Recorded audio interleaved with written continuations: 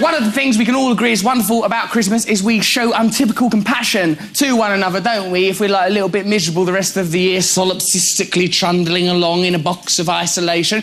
Merry Christmas! Hello! Ah, it's jolly old Christmas. Even these people who fight for a job, doormen, bouncers, muscle, even they get a little bit more jolly around Christmas. Christmas, we're dealing with thoroughly decent family people that turn into arseholes.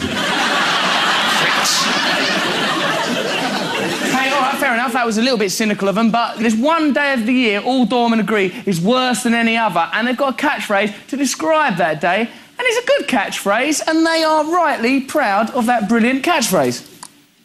Today is Nasty Friday, the last Friday before Christmas, and generally reckoned to be the worst night of the year.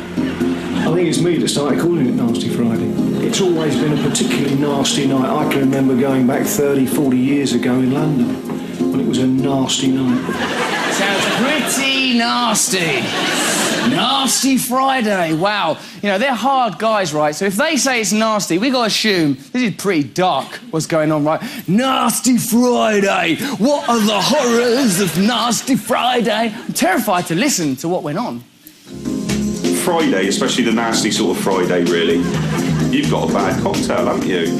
We chucked a guy out of a pub once on, on Nasty Friday. He was acting in a terrible state. He was spilling beer over people. He was calling women tarts, saying uh, that's not a skirt, that's a belt. You know, really taking a midget out of women.